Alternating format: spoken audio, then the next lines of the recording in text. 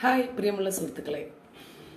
ഗ്രന്ഥങ്ങളിലുള്ള കാര്യം പറയുമ്പോൾ നമ്മൾ തുള്ളി മറിഞ്ഞിട്ടൊന്നും കാര്യമില്ല.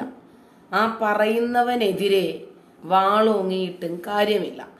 ഈ ഗ്രന്ഥങ്ങൾ ഓതറൈസ്ഡ് ആയിട്ട് ഇവിടെ ഉള്ളിടത്തോളം കാലം ഇത് വിമർശിക്കപ്പെട്ടുകൊണ്ടേയിരിക്കും സംശയമൊന്നുമില്ല. ഇത് വാനലോകത്തുള്ള ഒരു അള്ളാഹു മതമായി അംഗീകരിച്ചിടത്തോളം മതഗ്രന്ഥമായി മതത്തിന്റെ പ്രമാണമായി അംഗീകരിച്ചിടത്തോളം കാലം അല്ലെങ്കിൽ അതങ്ങനെയാണ് എന്ന് ഇവിടെയുള്ള വിശ്വാസികൾ അംഗീകരിക്കുകയും ഫോളോ ചെയ്യുകയും പ്രചരിപ്പിക്കുകയും വിശ്വസിക്കുകയും ചെയ്യുന്നിടത്തോളം കാലം അത് പറയുന്ന എത്ര ആളുകൾക്കെതിരെ വാളോങ്ങിയാലും അവരെ ഉന്മൂലനം ചെയ്താലും ഈ ഗ്രന്ഥങ്ങൾ വിമർശിക്കപ്പെട്ടുകൊണ്ടേയിരിക്കും. അതെഴുതിയവർക്കും കുഴപ്പമില്ല. ഇത് വിശ്വാസയോഗ്യ പ്രമാണമായി അംഗീകരിച്ചവർക്കും കുഴപ്പമില്ല. അത് ഫോളോ ചെയ്യുന്നവർക്കും കുഴപ്പമില്ല. അത് പ്രചരിപ്പിക്കുന്നവർക്കും കുഴപ്പമില്ല. അത് വളർത്താൻ ശ്രമിക്കുന്നവർക്കും കുഴപ്പമില്ലാത്തിടത്തോളം കാലം വിമർശിക്കുന്നവർക്കും വലിയ കുഴപ്പമൊന്നുമില്ലെന്നാണ് ഞാൻ മനസ്സിലാക്കുന്നത്. ഈ ഗ്രന്ഥങ്ങൾ ലോക ജനങ്ങൾക്ക് പഠിക്കാനുള്ള ഗ്രന്ഥമല്ലേ? കാരണം തള്ളിങ്ങനായിരുന്നില്ലല്ലോ. യാ യുഹന്നാസ് ഏ ജനങ്ങളെ ജനങ്ങൾക്ക് തള്ളിക്കൊടുക്കാൻ വേണ്ടിയുള്ളതായിരുന്നു ഈ ഗ്രന്ഥം എന്ന് പറഞ്ഞിട്ട് ഈ തള്ളിമറിക്കലൊക്കെ മാറ്റിവെച്ചിട്ട് ഇതിനകത്തുള്ളത് എന്താണ് എന്ന് ജനങ്ങൾ പഠിക്കാൻ തുടങ്ങിയപ്പോഴേക്ക് നിങ്ങൾ ഇങ്ങനെ വെകിളി കാണിച്ചിട്ടൊന്നും ഒരു കാര്യവുമില്ല. ഒന്നുകിൽ ഇത് പ്രമാണമല്ലെന്ന് നിങ്ങൾ പറയണം. അതല്ലെങ്കിൽ ഈ പ്രമാണത്തിൽ ഒരുപാട് കടത്തിക്കൂട്ടലുകൾ വന്നു പോയിട്ടുണ്ടെന്ന് പറയണം. അതുമല്ലെങ്കിൽ ഈ കാലഘട്ടത്തിന് യോഗ്യമല്ല ഇത് അംഗീകരിക്കാൻ കഴിയില്ലെന്ന് പറയണം. അതുമല്ലെങ്കിൽ ഇത് മൊത്തം നുണയാണെന്ന് പറഞ്ഞിട്ട് തള്ളി മറിച്ചം കളയണം. ഇസ്ലാമിൽ വിവാഹമുണ്ടോ? ഇസ്ലാമിലെ വിവാഹം എങ്ങനെയാണ്? വിവാഹത്തിന്റെ കരാർ എങ്ങനെയാണ്? ഒരു പെണ്ണുമായി വീഴ്ച നടത്തുക ആ കിടന്നതിന്റെ കൂലി അവളിൽ നിന്നും വല്ല സുഖവും അനുഭവിച്ചാൽ ഇതിന്റെ പേരാണ് പക്കാ വ്യഭിചാരം. എന്നിട്ട് പിണറായി വിജയന്റെ മോനെയും മോളെയും മരുമോനെയും ഒക്കെ വ്യഭിചാരികളാണെന്ന് പറയാം. മുഹമ്മദ് നബി ഖദീജയെ വിവാഹം കഴിച്ചത് ഏതു മതനിയമം അനുസരിച്ചിട്ടായിരുന്നു. അബ്ദുള്ളയും ആമിനയും തമ്മിൽ വിവാഹിതരായത് ഏതു മതനിയമം അനുസരിച്ചിട്ടായിരുന്നു.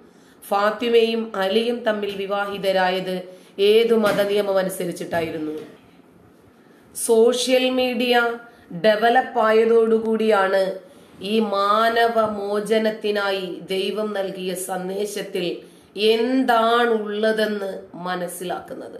തന്നെയുമല്ല അത് പുറം ലോകം അറിയാൻ പാടില്ലാത്ത വസ്തുതകളാണ് എന്ന് മനസ്സിലാക്കാൻ തുടങ്ങിയതും അതിനുശേഷം തന്നെയാണ്. പ്രത്യേകിച്ച് ഇത് കടിച്ചാൽ പൊട്ടാത്ത ഭാഷയായതുകൊണ്ടും സർവോപരി ഇതിനു വേണ്ടിയിട്ട് ആരും സമയം മെനക്കെടാൻ തയ്യാറാകാത്തത് കൊണ്ടുമൊക്കെയാണ് ഇത് ഇത്രയും പിടിച്ചു നിന്നത്.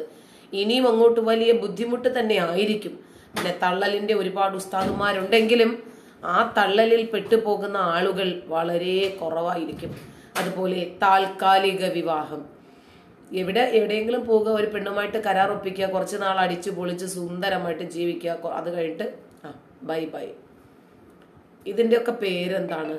ലിവിങ് ടുഗദർ ആദ്യമായി കണ്ടെത്തിയത് ഇസ്ലാമാണ്. ഇസ്ലാമിന്റെ സംഭാവനയാണ്. ഇന്നത് യുക്തിവാദികൾക്കിട്ട് പണിയാൻ വേണ്ടിയിട്ട് ഉപയോഗിക്കുന്നുണ്ട്. ശരിക്കു പറഞ്ഞാൽ വിവാഹവും വിവാഹമോചനവും ഒരുമിച്ചുള്ള കൂടിക്കാഴ്ചകളുമൊക്കെ ഒരു പുരോഗമന സമൂഹത്തിന്റെ ലക്ഷണങ്ങളാണ്.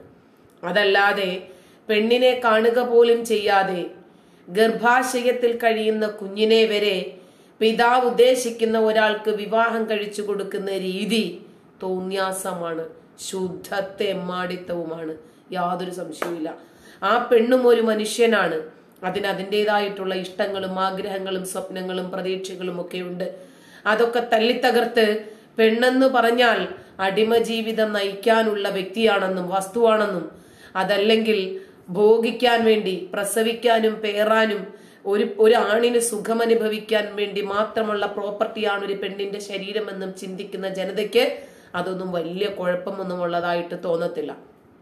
ലിവിങ് ടുഗദർ ഇപ്പോൾ എനിക്കൊരാളോട് ഒരു ഇഷ്ടം. പെണ്ണിന് റൈറ്റ്സ് ഇല്ല ഞാൻ ആണാണെന്ന് സങ്കല്പിച്ചോളൂ. അങ്ങനെ ഒരാളുമായിട്ട് കരാർ ഒപ്പിക്കുന്നത് എങ്ങനെ? ആ നമുക്ക് യോജിക്കുന്നിടത്തോളം കാലം ഒരുമിച്ച് പോകാം. അതല്ലെങ്കിൽ വേണ്ട. ഓക്കെ താൽക്കാലിക വിവാഹം എന്ന ഓമന പേര് ഇവരിട്ടു. ഇനിയിപ്പോൾ ഒരു പെണ്ണും ഒരാണും തമ്മിൽ ഒന്നോ രണ്ടോ വർഷം ഒരുമിച്ച് സുഖമായിട്ട് പോയി. അതല്ലെങ്കിൽ ഒന്നോ രണ്ടോ ആഴ്ച പോയി അതല്ലെങ്കിൽ ഒന്നോ രണ്ടോ മാസം പോയി ഒന്നോ രണ്ടോ ദിവസം പോയി ഒന്നോ രണ്ടോ മണിക്കൂർ പോയി. ഓക്കെ. ഇനി അവർ തമ്മിൽ ഓക്കെ കുറച്ച് ഫിസിക്കൽ റിലേഷൻ ഒക്കെ സ്വാഭാവികമാണല്ലോ. അതിനുശേഷം അവൻ പറയാണ് എന്റെ പൈസയൊന്നുമില്ല. എന്താ ചെയ്യുക സാരമില്ല. കുഴപ്പമില്ല. നമുക്കപ്പം പിന്നെ കാണാം. Bye bye. ഇതാണ് താൽക്കാലിക വിവാഹം. ഇനി എന്തെങ്കിലും ഉണ്ടെങ്കിൽ കൊടുക്കാം. അപ്പോൾ കൊടുത്ത പൈസ കുറഞ്ഞു എങ്കിൽ ആ പെണ്ണ് പറയണം സാരമില്ല നമുക്ക് അടുത്ത തവണ അഡ്ജസ്റ്റ് ചെയ്യാം പ്രശ്നമില്ല. അല്ലെങ്കിൽ അവൻ പറയാണ് അതെ അടുത്ത തവണ നമുക്ക് നോക്കാട്ടോ. ആ കുഴപ്പമില്ല കുഴപ്പമില്ല കുഴപ്പമില്ല പ്രശ്നമില്ല. താൽക്കാലിക വിവാഹം. അതുപോലെ യഥേഷ്ടമുള്ള ഭോഗം ഭോഗേന ശാന്തി അതും ഇസ്ലാമിന്റെ സംഭാവനയാണ്. അതല്ലാതെ ആണും പെണ്ണും തമ്മിൽ വിവാഹം കഴിച്ചു മരണം വരെ ഒരുമിച്ചു ജീവിക്കുന്ന ഒരു ഏർപ്പാട് ഇസ്ലാം പഠിപ്പിച്ചതല്ല. എന്നിട്ട് എല്ലാം എട്ടുകാലിമ മൂഞ്ഞിനെ പോലെ എന്ത് തരത്തിലുള്ള ഒരു പുരോഗതി ഇസ്ലാമിക സമൂഹത്തിനുണ്ടെങ്കിലും അതൊക്കെ ഞങ്ങൾ ഉണ്ടാക്കിയതാണ് എന്ന് പറയാൻ ഉളുപ്പില്ലാത്ത ഒരു വിഭാഗവും ഇവർ തന്നെയാണ്. ഇവർ ഒരു നവീകരണത്തിന് മുന്നിൽ നിൽക്കുന്നവരല്ല. എന്നാ പിന്നിൽ നിൽക്കുന്നവരാണോ? അല്ല പിന്നിൽ നിന്ന് തലയ്ക്ക് മുകളിൽ കൂടെ കൈ കാണിക്കുന്നവരാണ്. വേണ്ട വേണ്ട എന്ന് അത് അല്ലെങ്കിൽ ഇത്രയും കൊല്ലമായി മുത്തലാഖ് പോലെ ബഹുഭാര്യത്വം പോലെ അനന്തരാവകാശത്തിന്റെ ജെൻഡർ ഡിസ്ക്രിമിനേഷൻ പോലെ ഇവിടെ നിലനിൽക്കുന്ന എന്ത് തരത്തിലുള്ള ദുരാചാരങ്ങൾക്കാണ് ഏത് സമുദായമാണ് മുന്നിൽ വന്നിട്ടുള്ളത്? ലാ കിതാബത പെണ്ണുങ്ങളെ നിങ്ങൾ അക്ഷരാഭ്യാസം പഠിപ്പിക്കരുത് എന്ന് പറഞ്ഞിടത്തു നിന്ന് ആ മതനിയമങ്ങളെ വേരോടെ കുഴിച്ചു മൂടിയിട്ട് മുസ്ലിം സമുദായത്തിന്റെ പുരോഗതി മുന്നിൽ കണ്ട ചില ഏതാനും വ്യക്തികൾ. അവർ മുന്നോട്ട് വെച്ചതായിരുന്നു പെൺകുട്ടികളുടെ വിദ്യാഭ്യാസം. പ്രത്യേകിച്ച് ഇതിന് ചുക്കാൻ പിടിച്ചത് ബ്രിട്ടീഷുകാരായിരുന്നു. അങ്ങനെ പെൺകുട്ടികൾക്ക് പഠിക്കണം ആൺകുട്ടികൾക്കും പഠിക്കണം. അവർക്കും പൊതുബോധം നേടേണ്ടതുണ്ട്. അവർക്ക് മുന്നിലും വലിയ ഒരു ലോകം കാത്തിരിക്കുന്നുണ്ട് എന്ന് മനസ്സിലാക്കിയ ഭീഷണാശാലികളായ ആളുകൾ. പെൺകുട്ടികൾക്ക് വിദ്യാഭ്യാസത്തിന് മുസ്ലിം സമുദായത്തിലെ പുരുഷന്മാർക്കും വിദ്യാഭ്യാസത്തിനു വേണ്ടിയുള്ള വിശാലമായ വാതായനങ്ങൾ തുറന്നിട്ടപ്പോൾ അതിലൂടെ അവർ സഞ്ചരിച്ചു. അവർ സഞ്ചരിച്ചു കഴിഞ്ഞപ്പോൾ അവർക്ക് എത്തപ്പെടാൻ പറ്റാത്ത ഒരു മേഖലയും അവർക്ക് മുന്നിൽ ഉണ്ടായിരുന്നില്ല. എന്നിട്ട് പെൺകുട്ടിക്ക് മറിയുമ്മ എന്ന് പറയുന്ന ഒരു സ്ത്രീ പറഞ്ഞ അനുഭവം നമ്മൾ കേട്ടവരാണ്. തൊണ്ണൂറ് വയസ്സുണ്ടവർക്ക്. അവർ പറഞ്ഞത് ഞാൻ സ്കൂളിൽ പോയതിന്റെ പേരിൽ എന്റെ മുഖത്ത് കാർക്കിച്ചു തുപ്പിയിട്ടുണ്ട് എന്റെ സമുദായത്തിലെ ആളുകൾ. എന്റെ വീട്ടിലേക്ക് മറ്റുള്ളവർ വരാതിരുന്നിട്ടുണ്ട് വിദ്യാഭ്യാസം നേടുന്നു എന്ന കാരണത്താൽ അത്ര അത്രയും ത്യാഗമായിരുന്നു അന്ന് വിദ്യാഭ്യാസം നേടുക എന്നത്. ഈ മുസ്ലിം സമുദായത്തിന്റെ സകലമാന എതിർപ്പുകളും മത നിയമങ്ങളും മതത്തിന്റെ വിലക്കുകളും ഒക്കെ ചവിട്ടി കാറ്റിൽ പറത്തി അവർ വിദ്യാഭ്യാസം നേടി ജോലിക്കാരായി പാർലമെന്റിൽ വരെ എത്തിക്കഴിഞ്ഞപ്പോൾ ഞങ്ങളാണ് ഇതിന്റെ എല്ലാം പിന്നിൽ എന്ന് പറയാൻ ഉളുപ്പില്ലാത്ത ഒരു വിഭാഗം ഇവർ മാത്രമാണ്. അപ്പോൾ പെണ്ണുമായി കിടക്കറ കിടപ്പറ പങ്കിട്ടാൽ അവൾക്ക് കൊടുക്കേണ്ടത് കൂലിയാണ് എന്ന് ആദ്യം പഠിപ്പിച്ചത് മുത്ത് ആ വിവാഹം എന്ന താൽക്കാലികമായ വിവാഹ സമ്പ്രദായത്തിലൂടെ ഇസ്ലാമാണ് അത് പഠിപ്പിച്ചത്. അത് പറയുമ്പോൾ നമ്മൾ ഉറഞ്ഞു തുള്ളിയിട്ടൊന്നും കാര്യമില്ല. യാഥാർത്ഥ്യങ്ങൾ അംഗീകരിച്ചേ പറ്റൂ. ഇൻസെസ്റ്റ് അതായത് രക്തബന്ധങ്ങളുമായിട്ടുള്ള ശാരീരിക ബന്ധം സെക്സ് ഇത് പഠിപ്പിച്ചതും ഇസ്ലാം തന്നെയാണ്. ഇസ്ലാമാണ് ഇതിന്റെ ഒക്കെ മൂല കാരണങ്ങൾ ആദവും ഹവയും ആ ഒരു ജോഡികളെ ഒരു ജോഡിയെ മാത്രമേ അള്ളാഹു സൃഷ്ടിച്ചിട്ടുള്ളൂ.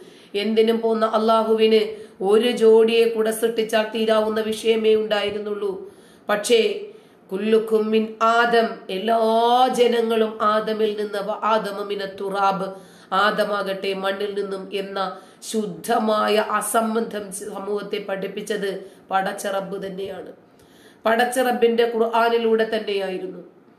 അതുകൊണ്ടാണ്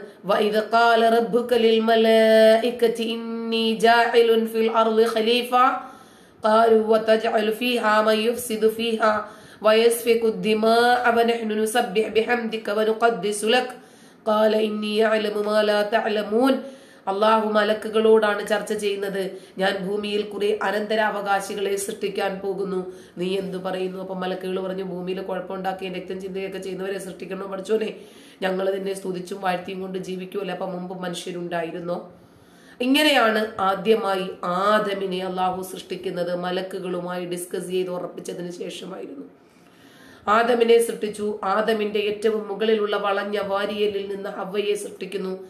ഇവർ രണ്ടു പേരിൽ നിന്നും അടുത്ത ജനറേഷനെ സൃഷ്ടിക്കുന്നു. മക്കളോട് തന്നെ പരസ്പരം വേഴ്ച ചെയ്യാൻ കൽപ്പിക്കുന്ന ഒരു രക്ഷിതാവും നമുക്കുണ്ടായിരുന്നു.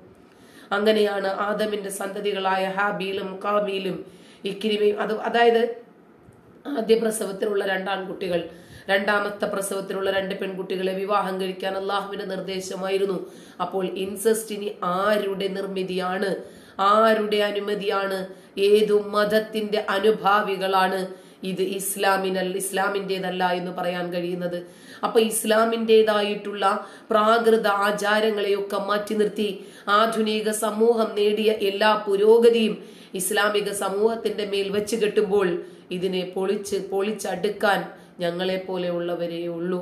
അപ്പം ഈ എളിയ ദൗത്യം ഞങ്ങൾ വളരെ സീരിയസ് ആയി നിർവഹിക്കുന്നത് സാമൂഹിക സാമൂഹ്യ പ്രതിബദ്ധതയുള്ളത് കൊണ്ടാണ് അപ്പോൾ ഇതൊക്കെ ഇൻസെസ്റ്റ് ആയിരുന്നാലും താൽക്കാലിക വിവാഹമായിരുന്നാലും അതല്ലെങ്കിൽ ലിവിങ് ടുഗദർ ആയിരുന്നാലും ഇതൊക്കെ ഇസ്ലാമിന്റെ സംഭാവനയാണ്. തന്നെയുമല്ല ഇതൊരു നല്ല സമുദായത്തിന്റെ സമൂഹത്തിന്റെ ലോകത്തിന്റെ ലക്ഷണമാണ് എന്നുകൂടി നിങ്ങൾ മനസ്സിലാക്കണം. യഥേഷ്ടം വിവാഹമോചനം ചെയ്യാൻ. നമ്മൾ എന്താണ് പറയുന്നത് ഏകപക്ഷീയമായ വിവാഹമോചനത്തിന് മാത്രമേ നമ്മൾ എതിരുള്ളൂ. വിവാഹമോചനം ഒരു സമൂഹത്തിന്റെ ലക്ഷണമാണ്. ഒരു പുരോഗതിയുള്ള ഒരു വളർച്ചയുള്ള സമൂഹത്തിന്റെ ലക്ഷണമാണ്. അത് നിങ്ങൾ അങ്ങ് അംഗീകരിച്ചാൽ തീരാവുന്ന വിഷയമേ ഉള്ളൂ. ഇവിടെ ഇസ്ലാം മുന്നോട്ട് വെച്ചത് പുരുഷൻ എങ്ങനെ വേണമെങ്കിലും തലാക്ക് ചെയ്യാൻ വിവാഹമോചനം നടത്താനുള്ള റൈറ്റ്സ് ആണ്. അതിനെയാണ് നമ്മൾ വിമർശിക്കുന്നത്. സ്ത്രീക്കും അതുപോലെ തന്നെ റൈറ്റ്സ് ഉണ്ടെങ്കിൽ തീരാവുന്ന വിഷയമേ ഉള്ളൂ. തുടങ്ങി. ഇന്ന് എത്തി നിൽക്കുന്ന മുസ്ലിം സമൂഹം വിമർശിക്കുകയും ഇങ്ങനെ ഒരു സമ്പ്രദായം യുക്തിവാദികളാണ് ഇവിടെ നടപ്പിലാക്കാൻ ശ്രമിക്കുന്നത് എന്ന് പറയുകയും ചെയ്യുന്ന എല്ലാ ഇത്തരം കാര്യങ്ങളുടെയും മൂലഹേതു ഇസ്ലാമാണ്. ഇസ്ലാമാണ് അതൊരു നല്ലതാണ് എന്ന് ഉൾക്കൊണ്ടാൽ തീരാവുന്ന വിഷയമേ ഉള്ളൂ. നന്ദി.